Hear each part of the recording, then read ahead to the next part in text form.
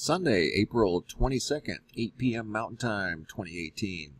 Guys, in this video, we're going to take a look at a few of the wonderful sky phenomenon photographs and video that you guys have shared with me in the last day. Here's one example real quick. We're going to get to some more here in just a second. I also want to show you something I found interesting um, from one of the webcams on board the International Space Station. I'm over here at spaceweather.com and I want to talk about the Lyrid meteor shower real quick that occurred this weekend and then also this geomagnetic storm that occurred on the 19th. The reason I bring them up is because of this. I observed this on the 19th from on board the International Space Station while it was on the dark side of the Earth. What you're looking at is a webcam outside on board the uh, ISS. Normally, when it's in the dark side of the planet, you don't see too much. I don't see too much of anything with regard to light. All of these specks of red, white, and blue are very rare. So when I saw that, I just started recording. And you know, every once in a while it intensify and you'll see a streak of light go through. It's almost like it's in some, there was a streak right there. It's almost um, as if it were going through, through some sort of a debris field. There was another streak right there around the 8 o'clock position. So super interesting considering this ride through the shadow is normally pretty boring. So to see something like that's very rare. So I got to looking around. I've had that since the 19th. I knew the meteor shower wasn't until this weekend, so I'm like, well, it's kind of early to be going through the, the stream of debris from the comet tail, and that's from Comet Thatcher. That's what produces the annual Lyrid meteor shower. So we were technically a little early for that, but we were right in the middle of an interplanetary shock wave.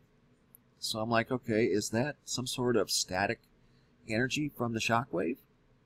I suppose it could have been. So that's what I was thinking when I was recording this. I was tossing around the, the comet debris, but I'm like, well, it's a little early. So I'm kind of leaning towards static from the interplanetary shockwave is what we're seeing here. There's quite a bit.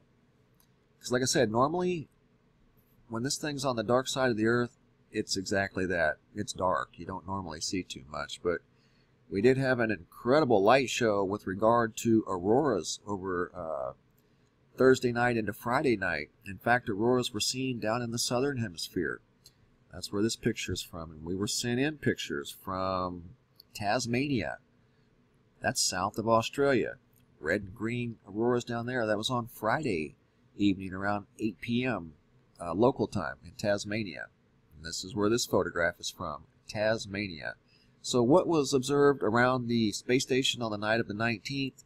It was either early debris from Comet Thatcher and the annual Lyrid meteor shower, or it was some sort of static that was associated with this interplanetary shock wave. One of the two. But I found that super interesting. Almost as interesting as this eye in the sky that our friend Jasper from Holland noticed today. Quite the photogenic cloud. Look at that. Perfect eye in the sky. This is the original. Um, this is untouched. The other one, he was just messing around with the contrast and stuff, trying to make it more clear, but uh, more visible, but there was no need to. That is a really unique cloud. He also shared with us a video of what looks like, now this is looking west at the sunset from Holland. This is yesterday evening. Now he's going to take us and show us what the eastern sky looks like at the same exact time. Again, this is from Holland. And looks like dual sunsets. Interesting. So this video is from Holland, our friend Jasper.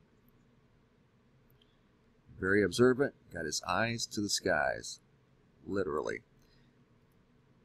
Look at that. Talk about an eye in the sky. That's real too.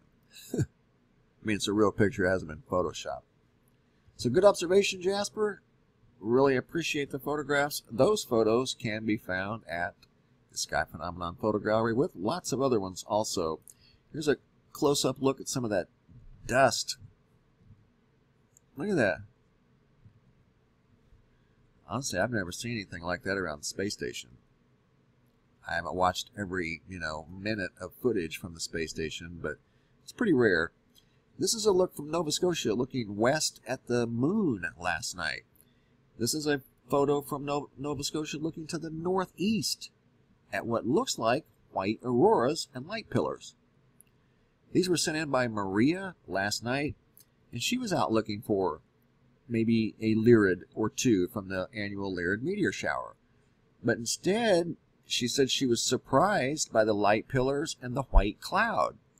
She sent this photograph into a sky photography group, and they told her that what she photographed was white auroras and light pillars. But she said the, the air generally with light pillars, which those are common, when it's really, really cold. She said it wasn't cold. She said it was kind of warm, actually. So for the white cloud and the light pillar, she said both were very surprising when she was actually looking for Lyrids from the meteor shower. And you got to keep in mind, it's definitely not the moon. Even though it looks like moonlight, the moon is behind her to the west. That's looking northeast. But at what? That's still lingering energy from the geomagnetic storm? and didn't uh, show up on the website, we look at the K index, the storm is long gone. So I don't know exactly what it was she was seeing out there. And even the ionosphere showed back to normal. So kind of interesting. It definitely wasn't the moon, and those were sent in by Maria from Nova Scotia filmed some sort of a white cloud in the northern sky, northeastern sky last night. So thank you, Maria, for sharing. Greatly appreciate that. This next video I want to share with you is from Truckee, California. Robert sent this in of yet another big halo. We've been seeing these all around the world this spring. But I want you to notice something at the 3 o'clock position, right here. Something appears to be stationary in this halo. It doesn't move, and it doesn't look like a typical cloud. See how it's still there? And he'll move the camera around all different directions. It's still there.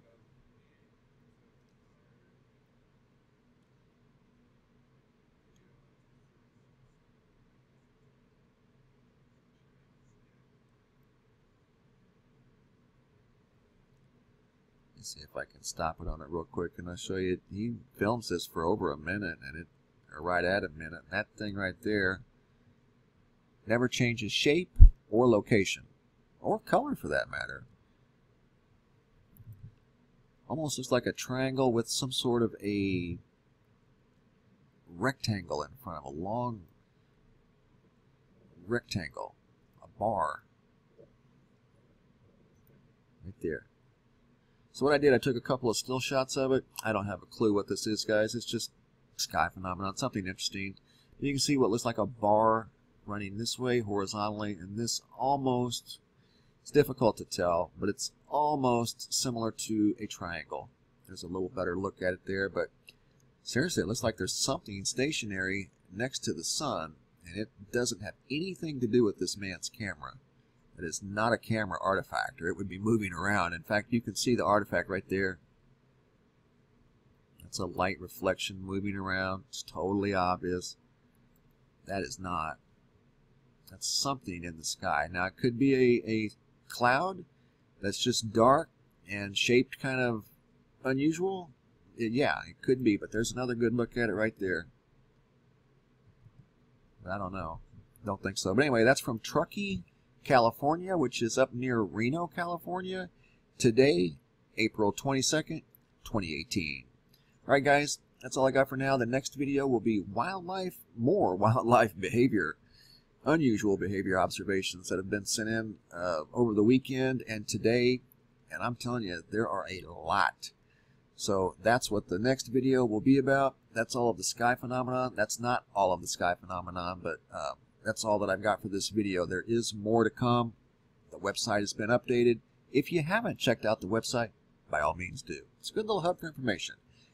MrMBB333.com. You can find the link below in the description box. Thanks for watching, guys. Have a super day and be safe out there.